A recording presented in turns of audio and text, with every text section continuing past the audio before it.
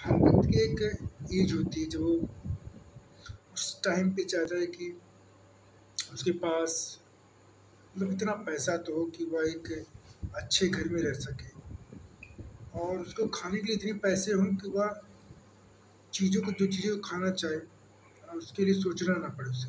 At least एक time पे तो व्यक्ति को लगता है कि मेरे पास नहीं पैसे होने चाहिए, और उसे पाने के लिए वह जी जान, पूरी मेहनत जी तोड़ मेहनत करता है।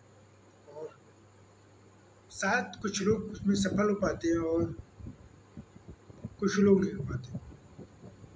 रीज़न क्या है कि जब हम अकेले होते हैं तो बस हम सिर्फ़ अपने लिए सोचते हैं और सोचते हैं कितना पैसा हो जाए और हम जो चीज़ें हम खाना चाहते हैं, पहनना चाहते हैं, घूमना चाहते हैं, सारी चीज़ें कर सकें।